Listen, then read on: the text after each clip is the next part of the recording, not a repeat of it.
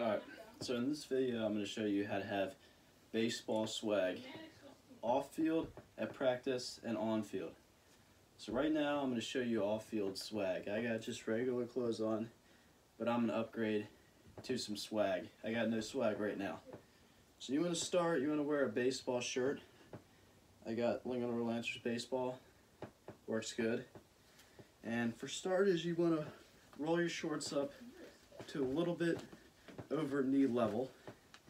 And then you want to tuck in your shirt in the front of your shorts, but leave the back untucked. That gives you a little bit of swag right there. And then, if you have one, get yourself a chain. Keep it popped at all times. Unless you're walking up to the plate, then pop it when you're coming off plate. But that's that's for later. And then you get yourself either a PG hat, sunglasses on the back of the hat, of course, you're not going to use them, but look swaggy. Or you, if you play on a stud travel team, like the Mid-Atlantic Red Sox, Tri-State Arsenal, Shield Canes, you can wear this off field, but you can't if you have a bad travel team. So we're just going to go with the PG hat right now. So you want to have some D1 tilt, of course. Now, let me let me show you what tilt is. So if you have tilt like this, you suck. You play wreck, you're bad. You just you're not you're not a good baseball player. And then if you just have you wear your hat regular, then you just play travel baseball. You don't take it too serious, but I mean you're a decent player. And then if you go like this, put the hat in front of your face and have it barely on your head that's D1 tilt. D1 tilt's for players that either are committed to a D1 in college and, or you are good enough, you're a really good player, you throw gas, you're probably almost good enough to D, commit D1. So you got to have some tilt if you're like that, and you got to be a high school kid. And then when you get to college, you get back to travel ball because it doesn't really matter. You're already at the D1 level. Doesn't matter. But then when you're about to get drafted, you're prepping for the draft, you gotta have some insane tilt. Tilt that you can't even see pretty much. Like out of control tilt. So that's that's off field tilt. Now let's go to practice tilt. So with your apparel, you have two options here. You can either go with the show you with the cutoff like this, but this is only if you're ripped or hit bombs. So if you're a skinny pitcher like me, no cutoff. Or you could go with a simple shirt like this, but there's a way to wear this shirt. And this this is mainly for pitchers or skinny kids. But you gotta have three quarters. You can't you can't pull it up all the way here. That doesn't look good. You gotta have three quarters. Automatic swag if you got three quarters. And then, of course, you could wear your team's hat to the practice. Always tilt, of course. Or, if you want to stand out and you want to really look like a stud, you got to go with the PG hat as well. Because your whole team is going to be wearing the team hat. But if you're wearing the PG hat, I mean, you're an automatic stud. So, if you wear, if you're going to practice and you wear shorts to practice and everybody else is wearing pants and your coach doesn't really care, then that, I mean, I give you automatic respect for that. That, that is swag. That's showing that you're big time and that you're better than everybody else out there. But you know, sometimes the coach isn't going to let that happen. Everybody's got to wear pants. So, you got to wear the baseball pants. Now, you put these on for practice and you zip this up, but you're not really going to take practice seriously, we know this. So you're not going to wear a belt and you're only going to button one button. So leave this open. So you got, you don't want to pull your pants up too high, but you got the D1 tilt, sunglasses on the back, of course. You got the chain if you got it. You always wear the chain. And then you got the three quarter sleeves, and then you got no belt and one button open pants. Now, you're not you're not taking practice too seriously if you're big time, so you don't ever want to wear stirrups or pants up or anything like that if you're if you're going to practice. Now, we're going to talk about the game swag. So you got to, of course, get your jersey and get your team hat because you got to wear the team hat. You can't wear the PG at this. That, that would just be disrespectful. You got to wear your hat. So, let's go ahead and get my jersey on. And you, of course, give a, you want to button this all the way up, give a tuck at the front, still keeping the back out. That's, that's a little bit of swag. And then you want to wear your belt, show some respect. So put on the belt. And you want to wear shorts under your pants because that's I mean that's really big time when you're you know walking up to the field you got shorts on and then you slip on the pants. And then right when the game is over you immediately take the pants off in the dugout. You know it goes cleats off then pants off. So you immediate comfort after the game. But let's go. We got the the Red Sox hat matching, of course, D1 tilt all the time. Sunglasses on the back of the hat, upside down. And then, if, oh, and let's start from the bottom. So cleats, you want to wear the New Balance. New Balance is the swaggiest baseball brand, of course. And you want to, you can, you can either get New Balance metal, or you can do rubber. It doesn't really matter. They look swaggy. It's, it's cleats aren't what they, how they feel. It's how they look. So you go with that, and then if you have the pants and you have the stirrups for it, you can pull up. You can pull them up. I don't have stirrups, but you can tuck them in the stirrups. But at no point do you let your pants fold over and fall down, start falling down because that is immediate just trash. You never want to do that.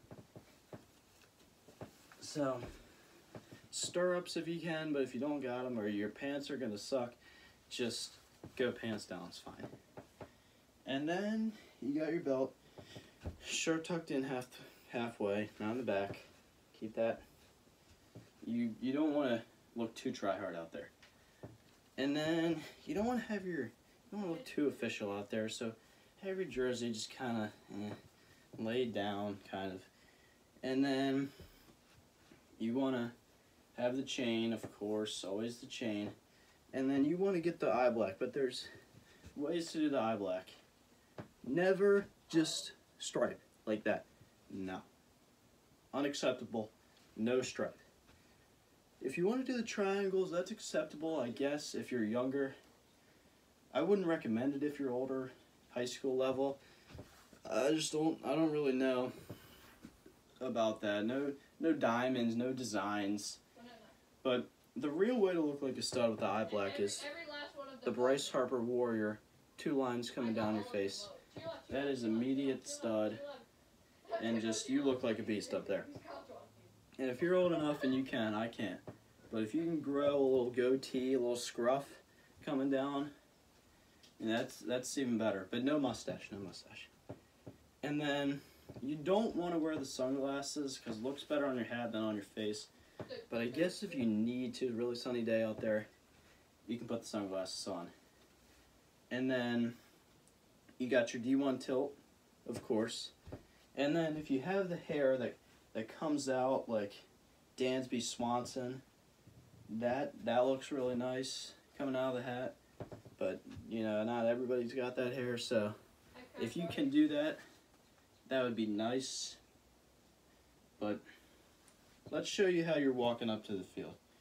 So if you are a pitcher, start with that. Every pitcher should have bands. So you put them around your neck. And then you walk up with your bag. The bags need to be backpacks. You're not pulling it.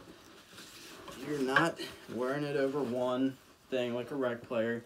You gotta have the backpack bags.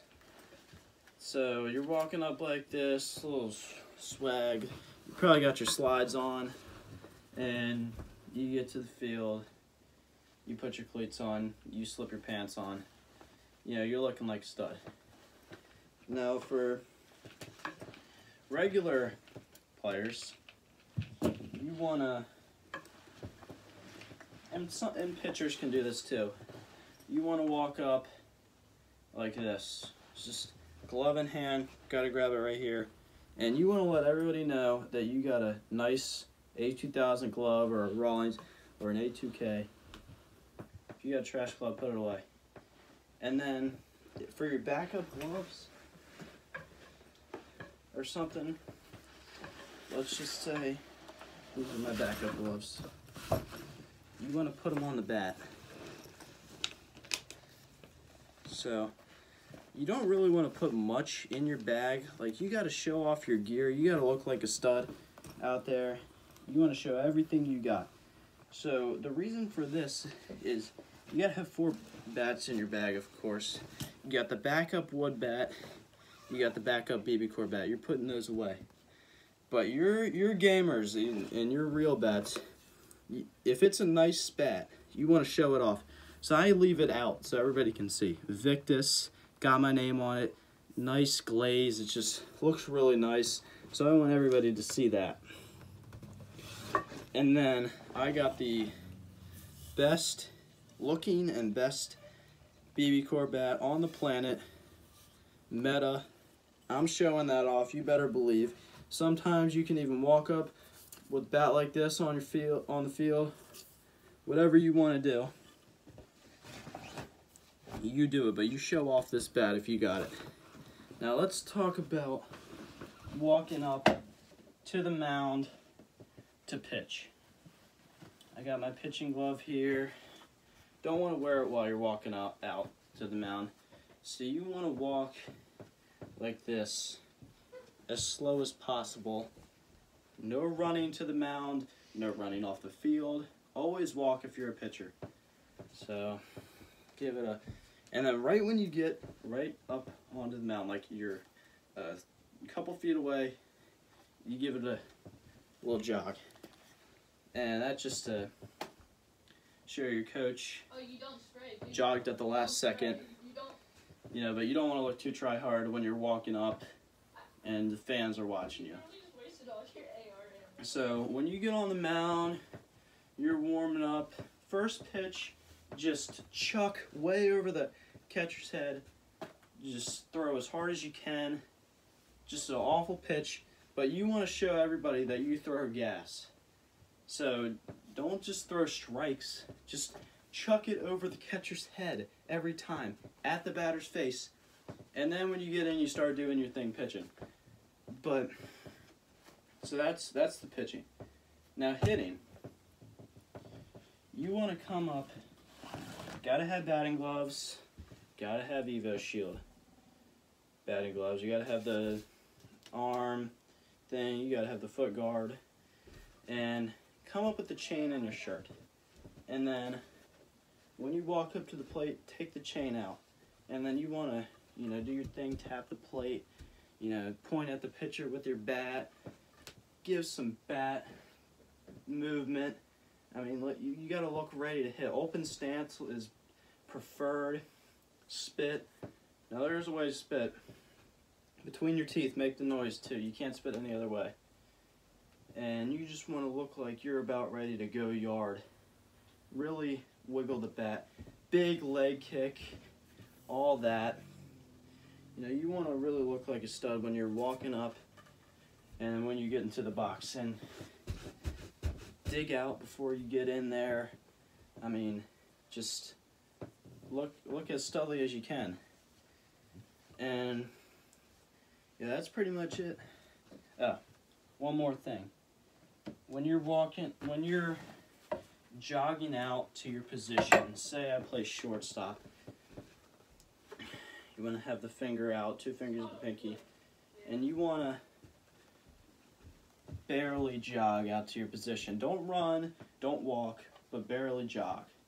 And then when you're fielding, warming up, you don't want to look like you're trying hard, but you want to still show good fundamentals. Get to the right of the ball, you know, feel it, look it in, and make a good solid throw. You don't want to lollipop, but you don't want to chuck it to him. Just have it on the line, and then when you're out there in the field, you'll look around, mess around, have sunflower seeds, possibly gum, blowing bubbles, and spit between your teeth.